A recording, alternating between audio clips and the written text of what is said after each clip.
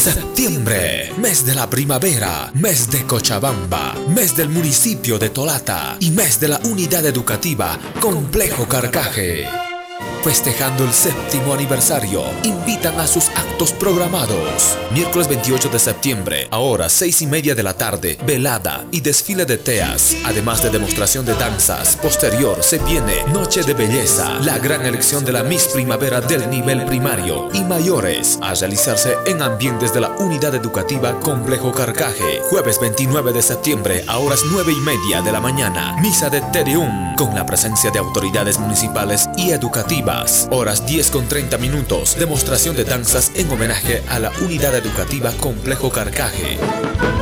Es una invitación del personal de la Unidad Educativa y la Junta de Padres de Familia.